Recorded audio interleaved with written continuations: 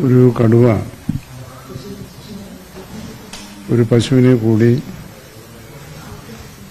ആക്രമിച്ചതായിട്ടാണ് വിവരം കിട്ടിയിട്ടുള്ളത്. കടുവയുടെ കാൽപ്പാടുകളാണ് കണ്ടെത്തിയിട്ടുള്ളത്. അത് ഉറപ്പുവരുത്താനുള്ള ശ്രമങ്ങളാണ് ഇപ്പോൾ അവിടെ നടക്കുന്നത്. കാൽപ്പാടുകൾ പരിശോധിച്ച് അത് കടുവ തന്നെയാണോ എന്ന് ഉറപ്പുവരുത്തി ആ ശ്രമങ്ങൾ ഇപ്പോൾ ഇവിടെ നടന്നു നടന്നു വരുന്നുണ്ട്. വന്യജീവി വന്യജീവികൾ സ്വാഭാവികമായി വനത്തിന്റെ ഭാഗമാണല്ലോ. അപ്പോൾ വന്യജീവികൾ ആക്രമിക്കുമ്പോൾ വനത്തിനല്ലേ പ്രതിക്കൂട്ടിൽ കയറ്റാൻ പറ്റും? മറ്റേതെങ്കിലും വകുപ്പിന് പ്രതിക്കൂട്ടിൽ കയറ്റാൻ പറ്റുമോ? പ്രതിഷേധത്തിന്റെ ഭാഗമായി നടക്കുന്ന ഒരു കാര്യവും നിരോധിക്കാനോ നിഷേധിക്കാനോ ഒരു പൊതുപ്രവർത്തകൻ എന്നുള്ള നിലയിൽ ഞാൻ ഒരുക്കമല്ലല്ലോ ഞാൻ ആദ്യം മുതൽ പ്രതിഷേധം ന്യായമാണ് എന്ന് തന്നെയാണ്. പക്ഷേ ഞാൻ അതിനകത്തൊരു വ്യത്യാസം പറഞ്ഞിരിക്കുന്നത് അത് അക്രമാസക്തമായി പോകുമ്പോൾ അത് നമുക്ക് പരിഹാരം കാണാനുള്ള വഴിയല്ല തെളിയുക കൂടുതൽ പ്രശ്നം സങ്കീർണമാക്കുകയാണ് ചെയ്യുക. അത് ഏതാണ്ട് വയനാട്ടെ ജനങ്ങൾ അംഗീകരിച്ചിട്ടുണ്ട് എന്നാണ് എന്റെ ഒരു വിശ്വാസം. നമുക്ക് പരസ്പരം കൂടിയാലോചിച്ച് പ്രശ്നപരിഹാരം കാണുന്നതാണ് ഉചിതം എന്ന് തന്നെയാണ് എന്റെ ഇപ്പോഴത്തെ നിലപാട്. ഏതെങ്കിലും ഒന്നുകൊണ്ട് മാത്രം ഒരു കാര്യവും നടക്കുകയില്ല.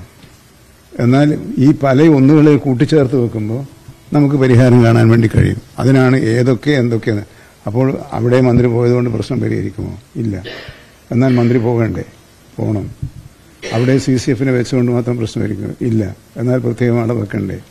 സമരം അക്ര അക്രമാസക്തമാകുമ്പോൾ അത് ന്യായമായ ന്യായമായ സമരമല്ല. പ്രതിഷേധ ന്യായമല്ല. അത് ഞാൻ നേരത്തെ തന്നെ വ്യക്തമാക്കുക അക്ര- അക്ര അക്രമാസക്തമാകാൻ പാടില്ല എന്ന അഭ്യർത്ഥന ഞാൻ അവരുടെ മുമ്പാകെ വെച്ചിട്ടുള്ളതാണ്.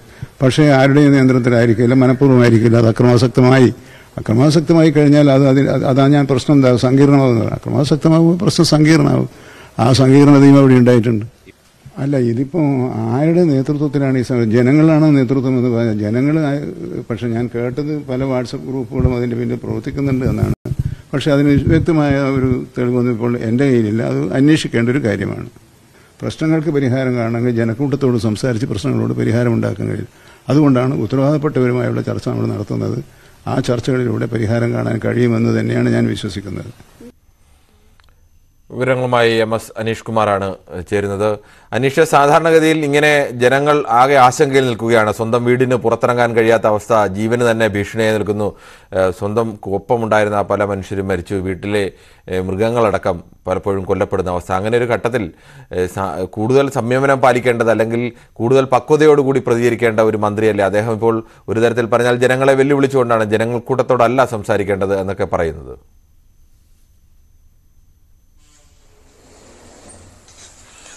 കിരൺ അജീഷ് എന്ന കുടുംബനാഥൻ മരിച്ചിട്ട് കാട്ടാനയുടെ ആക്രമണത്തിൽ കൊല്ലപ്പെട്ടിട്ട് ഒരാഴ്ച പിന്നിടുന്നു. ആ ഒരാഴ്ച പിന്നിടുന്ന സമയത്താണ് അടുത്ത വനംവകുപ്പിന്റെ ഒരു താൽക്കാലിക ജീവനക്കാരൻ കൂടി ഇത്തരത്തിൽ കാട്ടാനയുടെ ആക്രമണത്തിനിരയായി മരിക്കുന്നത്. ഇത്തരമൊരു സാഹചര്യത്തിൽ ഈ അജീഷ് മരിച്ച അന്ന് തന്നെ വയനാട്ടിലെത്തി കാര്യങ്ങൾ അവിടെ ക്യാമ്പ് ചെയ്ത് ഏകോപിപ്പിക്കേണ്ട മന്ത്രിയാണ് ഇപ്പോൾ ഒരാഴ്ച കഴിഞ്ഞ് രണ്ടാമത്തെ മരണവും നടന്നു കഴിയുമ്പോൾ ഇങ്ങനെ പറയുന്നത്. കാരണം ജനങ്ങളുടെ പ്രതിഷേധം വലിയ തോതിൽ ഉയരുകയാണ്. ഈ ജനക്കൂട്ടത്തെ താൻ ഭയപ്പെടുന്നു എന്ന് തന്നെയാണ് മന്ത്രി പറയാതെ പറയുന്നത്. അതുകൊണ്ട് ഈ വികാരപരമായി ആളുകൾ ഇടപെടുമ്പോൾ അത്തരമൊരു സാഹചര്യത്തിൽ ഇടപെടുന്നതിനേക്കാൾ നല്ലത്. ആളുകൾ ശാന്തരായിരിക്കുമ്പോൾ അവിടേക്ക് എത്തുക എന്നതാണ്. അതായത് വയനാടിന്റെ ചുമതല കൂടിയുള്ള വനംവകുപ്പിന്റെ ചുമതലയുള്ള മന്ത്രി അവിടെ ഒരു പ്രശ്നം വരുമ്പോൾ താൻ ഇടപെടില്ല.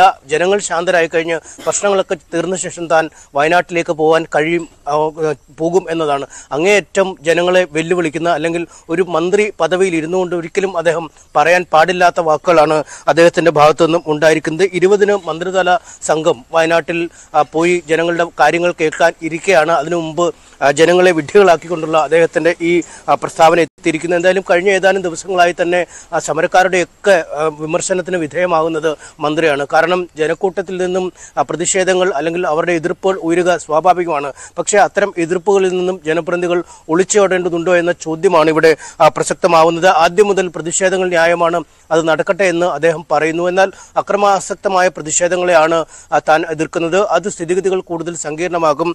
ചില വാട്സാപ്പ് ഗ്രൂപ്പുകൾ കേന്ദ്രീകരിച്ചൊക്കെ ഈ ആക്രമണത്തിന് കലാപാഹ്വാനം ഉയരുന്നുണ്ട് എന്നൊക്കെ അദ്ദേഹം പറയുന്നു. അത് കൂടുതൽ ജനങ്ങളുടെ എതിർപ്പിന് കാരണമാവും എന്ന് തന്നെയാണ് നമുക്ക് പറയാൻ കഴിയുന്നത്. കാരണം അജീഷിന്റെ മരണം ഉണ്ടാക്കിയ ആ വലിയ നഷ്ടം അല്ലെങ്കിൽ അതുമായി ബന്ധപ്പെട്ട് വരുന്ന ആ പ്രതിഷേധത്തിന്റെ ചൂട് ആറും മുമ്പാണ് അടുത്ത പോളിന് ജീവൻ നഷ്ടമായത്. അതിന് തൊട്ടു മുമ്പ് അനീഷ ഒരു ചെറിയ സംശയം. ഈ സ്വാഭാവികമായും ഇത്തരം ഒരു സംഭവങ്ങൾ ഉണ്ടാകുമ്പോൾ ജനങ്ങളാകെ ഭീതി നിൽക്കുകയാണ്. അവരുടെ ജീവന് ഭീഷണിയുണ്ട്. അവരുടെ വളർത്തു മൃഗങ്ങളുടെ ജീവന് ഭീഷണിയുണ്ട്. സ്വസ്ഥമായി പുറത്തിറങ്ങാൻ അവർക്കോ മക്കൾക്കോ കഴിയാത്ത അവസ്ഥയുണ്ട്. അങ്ങനെ ഒരു ഘട്ടത്തിൽ ജനങ്ങൾ പ്രതികരിക്കുമ്പോൾ ചിലപ്പോൾ ആ പ്രതികരണത്തെ ശക്തിപ്പെടുത്താൻ വേണ്ടി പല ആളുകളും രാഷ്ട്രീയ താല്പര്യമുള്ളവർ മറ്റു പല താല്പര്യമുള്ളവരൊക്കെ ശ്രമിച്ചേക്കാം.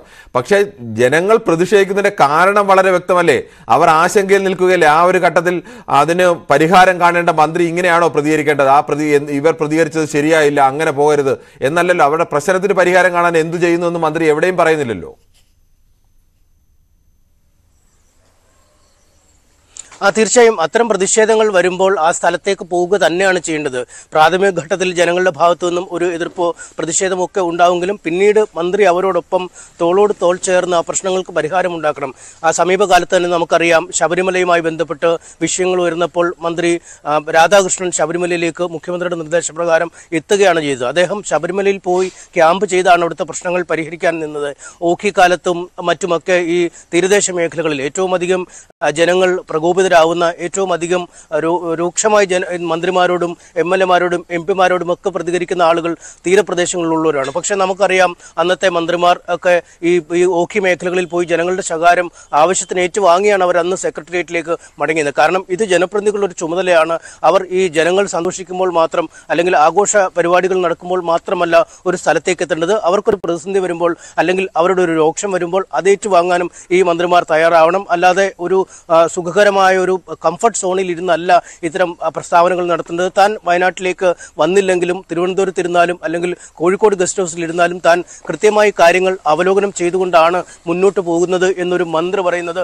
അങ്ങേയറ്റം വേദനാജനകമെന്നാണ് വയനാട്ടുകാർ പറയുന്നത്. അതുകൊണ്ട് കൂടുതൽ എതിർപ്പ് ഈ മന്ത്രിതല സമിതിക്ക് അല്ലെങ്കിൽ ഉന്നതതല യോഗത്തിനൊക്കെ ഇരുപതിന് മന്ത്രി വയനാട്ടിലേക്ക് എത്തുമ്പോൾ വയനാട്ടുകാർ ഏത് രീതിയിലാവും പ്രതികരിക്കുക എന്നത് നമുക്ക് ഇപ്പോൾ പോലും പ്രവചിക്കാൻ കഴിയാത്ത അവസ്ഥയിലേക്ക് കൂടുതൽ സങ്കീർണമാക്കിയിരിക്കുകയാണ് ഈ മന്ത്രി എ കെ ശശീന്ദ്രൻ ഈ പ്രസ്താവന അദ്ദേഹത്തിന്റെ രാജി എന്ന ആവശ്യം പ്രതിപക്ഷം നിലവിൽ തന്നെ മുന്നോട്ട് വെച്ചു കഴിഞ്ഞു. അദ്ദേഹത്തിനെ വഴിതടയുമെന്ന് യൂത്ത് കോൺഗ്രസുകാർ അറിയിച്ചിരിക്കുന്നു. അങ്ങനെ വലിയ പ്രതിഷേധം അദ്ദേഹത്തിന് നേരെ ഉയരും എന്ന് തന്നെയാണ് നമുക്ക് പറയേണ്ടത്. ഇപ്പോഴും നമ്മൾ പറയുന്നു അജീഷിന്റെ മരണം നടന്ന അന്ന് തന്നെ ചുരം കയറി മന്ത്രി മുകളിലേക്ക് വരേണ്ടതായിരുന്നു. അവിടെ വരുന്ന ന്യ- ന്യായമായ പ്രതിഷേധങ്ങൾ കാണുക അതിനുശേഷം ഓപ്പറേഷൻ വേലൂർ മഗ്നെ അടക്കമുള്ള കാര്യങ്ങൾക്ക് നേതൃത്വം വഹിക്കുക മറ്റു കാര്യങ്ങളിലും ഇടപെട്ട് അദ്ദേഹം അവിടെ തന്നെ നിൽക്കേണ്ടതായിരുന്നു. പക്ഷേ ഈ സംഘർഷഭരിതമായ ഒരു സാഹചര്യത്തിൽ ഈ അക്രമോത്സുകരായ ആളുകൾക്ക് മുന്നിൽ തനിക്കൊന്നും ചെയ്യാനില്ല എന്ന് അദ്ദേഹം പറയുന്നത് അങ്ങേയറ്റം നിരുത്തരവാദപരമായ സമീപനമാണ്. ജനങ്ങളെ കേൾക്കേണ്ടത് ജനങ്ങളുടെ ആവലാതികൾ കേൾക്കേണ്ടതൊക്കെ ഒരു ജനപ്രതിനിധിയുടെ അല്ലെങ്കിൽ ആ ജില്ലയുടെ കൂടെ ചുമതലയുള്ള മന്ത്രിയുടെ ഒരു കർത്തവ്യമായിരുന്നു. ആ ചുമതലയായിരുന്നു അത് പരിഹരിക്കുന്നതിൽ അല്ലെങ്കിൽ അത് നിർവഹിക്കുന്നതിൽ അങ്ങേയറ്റം പരാജയമാണ്. മന്ത്രി ഇക്കാര്യത്തിൽ വയനാട്ടിലെ വന്യമൃഗാക്രമണങ്ങളുമായി വന്യമൃഗ ബന്ധപ്പെട്ട കാര്യങ്ങൾ കൈകാര്യം ചെയ്യുന്നതിൽ മന്ത്രി അങ്ങേയറ്റം ഒരു പരാജയമായിരുന്നു എന്ന് പറയുന്നതിൽ യാതൊരു സംശയവും യാതൊരു ഖേദവും തോന്നേണ്ടതില്ല. കിരൺ.